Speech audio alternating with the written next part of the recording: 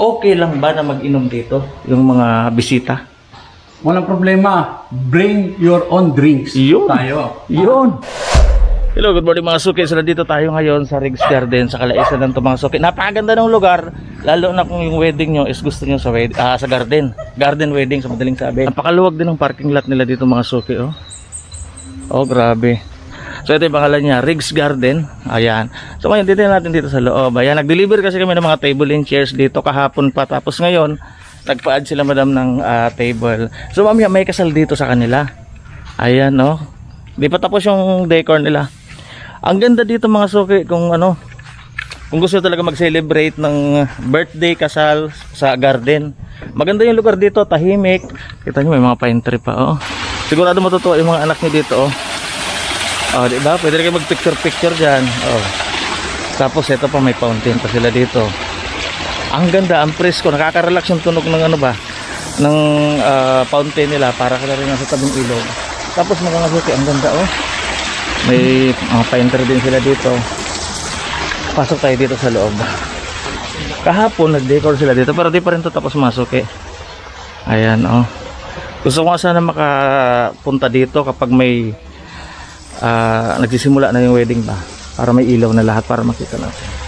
Ito mga suki, pupuntahan natin si sir ngayon. Nandito yung may-ari. Tatanungin natin. Magtatanong lang tayo kung magkano yung ah, rent dito sa lugar kapag halimbawa wedding o di kaya mga dibo, mga ganun ba.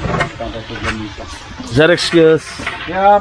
Good morning. Sir, magtanong lang ako, sir. Ah, kasi eto nagba-vlog ako ngayon. Ina-explain ko sa mga followers ko na kung naghahanap sila ng mga lugar na pwede sa garden wedding, mga ganun ba? Yeah. Tapos may fountain. Basta maganda yung lugar, simple lang. Tapos tahimik, malaki yung parking lot.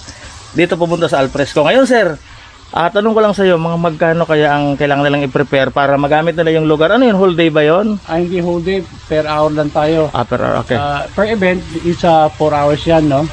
Then, ah, ang renta is 10,000. Okay. Ah, libre na lahat. May, ah, may sound system tayo. May, uh, ang tawag nito, completion na tayo ng chairs and tables kung kukulangin, pupunta kami sa iyo, rirenta kami sa iyo. Oo, kasi customer ko to kasi sir, sa akin to nag-order pag may mga event-event siya. Na, napansin ko sir, kasi sa ibang manggod na lugar, wala silang sound system. So ang gagawin minsan nila, magrerenta pa sila sa labas ng sound system. So additional, uh, magbabayad ulit sila para magrenta. Pero sa iyo, meron ka na palang Ah, mayroon na ah, sound system dito. Yeah, may ah, may sound system na tayo, wala tayong problema sa sound system. Pero if ever, kung gusto niyo mag-karaoke, magrenta na lang kayo ng karaoke machine, no? Pero Ah, yung, maganda. mm, natural lang na sounds like ah, pang MC-MC lang, ganon, pang chika-chika, pero tayo may sounds tayo. Walang problema. Correct. Tsaka ito pa sir, sa totoo lang kasi after ng event niyan, yung iba minsan gustong magkantahan talaga. Ang kagandahan dito kay sir, ito pa sir, sa ibang lugar kasi, tatawag sa amin, mag-rent ng video okay. Pero dito kay sir, may video okay na. So pwede lang sila mag-request. May rent nga lang, di ba sir? Pero, Pero, additional lang tayo, may video key tayo, at saka malaki Yun. yung, apa natin, yung pilon natin, kung sa Bisaya pa, malaki yan, ah, maganda. So, walang problema sa karaoke. Mag-video key sila after sa wedding, o ano sa kasal, after sa reunion, after sa birthday, meron tayo niyan. Okay. sir, regarding naman nga pala sir dun sa ano sir, sa... Usually naging problema namin yan. Minsan may mag-rent sa akin, tapos namang problema sila. Wala silang projector sa lugar. Mangita pa sila. Tapos, ang pinakamatindi nito sir kasi, pag maganap sila ng projector, wala silang marentahan kasi fully book o di kaya naman, mga ganun bang sitwasyon. Ikaw, mayroon ka bang projector dito? May projector tayo. Ang projector Ayun. natin, masyadong ah, malakas yun. At saka, ang projector natin, yun ang top of the ah, top of the line projector. Ah, 5,000 lumen yan, maskin araw yan. Very clear, ha? Ang picture na makita natin sa video. So, ibig sabihin sir, ito yung pinaka tilon niya, tapos doon yung... Doon ang projector. Ah, grabe, malakas na siya mga suki. Sobrang lakas Pag na. gusto mo magkumanta na parang nasa sinihan ka sa cinema, meron tayo yun, ang projector natin, masyadong malaki ang tilon. Tsaka itong mga suki, kung nakikita nyo, maganda sa umaga, mas maganda to sa gabi. Tinan nyo, maraming ilaw din, oh. Yan, oh. So, parang ang sarap siguro dito mag-relax, sir, ba, no? Oo, ah, isa dito. Kaya napakaganda to mga suki kung mayroon kayong mga event sa bahay nyo tulad ng birthday, binyag, kasal, garden Reunion, wedding, reunion. Kasi masusulo nyo yung lugar talaga. Oh. Sa kalaisan lang to sir, exact address sir. Ah, upper Kalaisan tayo, dito na sa Kidapawan City. Kanina ba, nung pag-deliver namin, di ba? Namangha ako sa parking lot mo, napakalaki. Alam mo, napaka-importante ng parking lot, lalo na sa mga may sasakyan. Ako, number one na love ko talaga yung sasakyan ko. Pag pumunta ako sa event, sinisigurado ko na safe yung sasakyan ko. Sir, ang ganda ng, ang laki ng parking lot ba? Thing Panalo talaga. Ridge Garden, no? Ah, although siya medyo malayo from Kidapawan City, pero yung daanan natin, simentado. Maganda ang daanan. Then, pag nandito ka na sa loob ng Ridge Garden, malawak yung parking space natin. Walang problema sa parking, you know? Kumpleto tayo, malaki yan. Pwede tayo maka-accommodate na kung 1,000, ah, no, 100 heads na guests natin, wala tayong problema sa parking natin. Malaki ang parking area natin.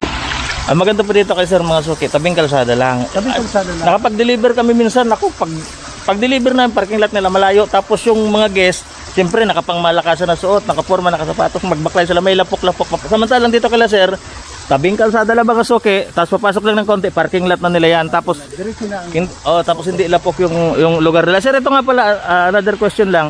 Nabanggit mo kanina ilang heads yung pwede sa sa 10K? Ah, ang kay, ano, ang ang kastadahan dito is a rental. So 4 hours is 10,000. Kahit ilang tao na yon. Wala nang wala nang ah maganda, maganda, maganda mga suki unlimited pala. So akala ko kasi sa ibang mga good sir, Limitado. limitado. Minsan 30 ta- 30 katao lang, parang ganun yung package. sir. Samantalang kay sir, ah, open siya kahit Yeah, ilan yan siya. Ito ngayon, no, mag-start sila ng ang kasal is mag-start sila ng 3 p.m. Oo. Pero yung bride and groom dito na yan 11 o'clock. The whole day na, no? Ang Magkano man ang babayaran nila is 10,000 lang. Yung preparasyon ng bride mag-makeup siya, may may special room tayo, air condition yan, libre na yan.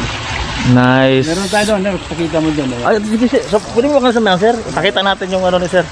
Yung room doon. Alam mo mga suki, nakapasok na ako dito minsan nung nag-deliver kami. Napakaganda kasi pinakita rin na, na, sa akin ni sir yung loob. Sobrang ganda niya. Ngayon, ito, sama niya ulit tayo doon para makita niyo.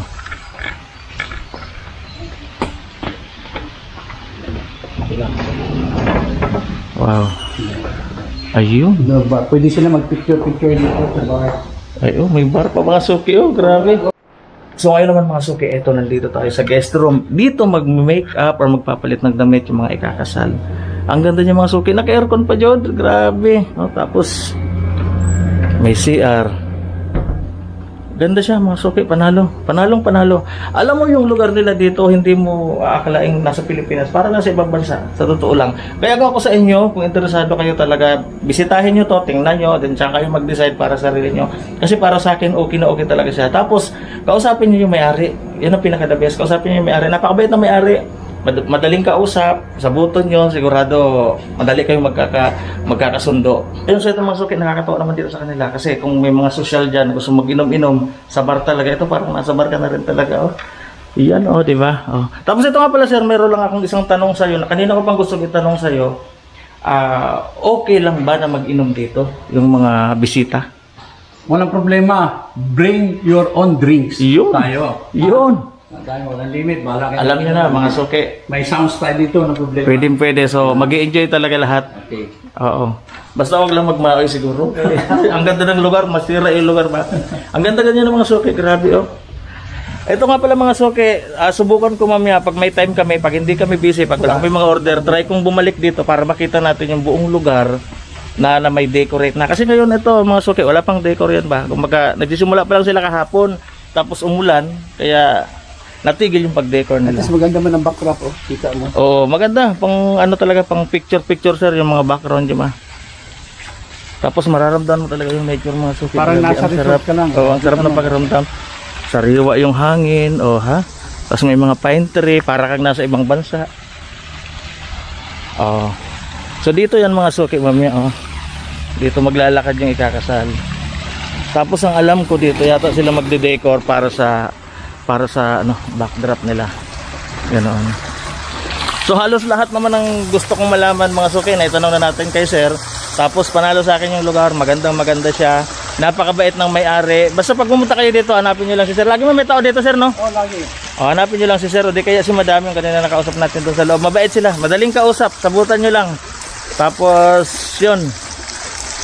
Halos lahat ng kailangan pala mga suki nandito na isipin. May projector niya, may projector na, may sound system pa. O, di ba? Tapos gusto mo mag-video okay, meron ding video okay. Hindi na kailangan magtawag ka pa sa iba, tawag ka pa sa nagpaparenta dito sa kanila, meron silang video okay. I-request nyo lang sa kanila. Siyempre naman, may ano lang, may charge lang yon additional. Pero maliit lang yan sigurado. Dito ka mag-upo. Oh, grabe mga suki, oh.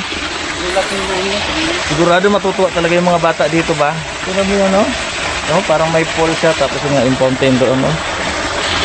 Oh, yun. So, siguro mga suki, ilang muna ulit ngayon. Maraming salamat sa panonood nyo. Hanggang sa muli.